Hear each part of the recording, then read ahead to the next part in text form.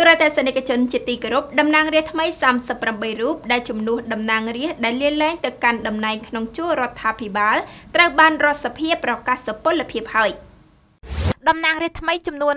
38រូបដែលចូលកាន់តំណែងជំនួសតំណាងរាស្ត្រចាស់ដែលលាលែងទៅកាន់តំណែងនៅក្នុងជួររដ្ឋាភិបាលកម្ពុជាអាណត្តិថ្មីត្រូវបានរដ្ឋសភាប្រកាសសុពលភាពរួចហើយនៅព្រឹកថ្ងៃទី19ខែកញ្ញាឆ្នាំ